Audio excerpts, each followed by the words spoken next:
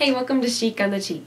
So autumn is officially here, and I have to say I am a sucker for fall scarves. I love to wear scarves with my outfit in the fall and in the winter, but they can be really expensive. I mean, even at Walmart you can get them for like $10 or $7. So today I wanted to show you a creative and frugal way to make yourself some fall scarves that will save you a little bit of money. It's an easy sewing project, and all you'll need is an old dress. Check it out.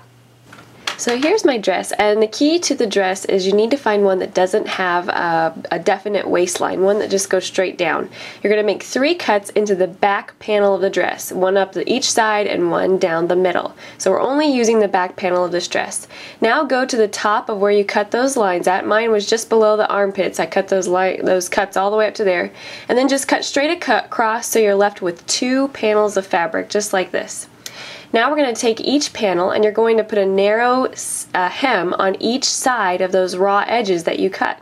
So all you need to do is go to the ironing board and like you see, iron under once and then iron under again to make that narrow hem and then you're just going to sew right across those two folds. And here's what it's like when it's all done. Looks nice and neat like that. So do that on each of the long sides of both pieces of your fabric. Then go to the edge that you cut that's raw on uh, the top of each piece and do the same thing. Fold it under, fold it under again, and sew right along the edge.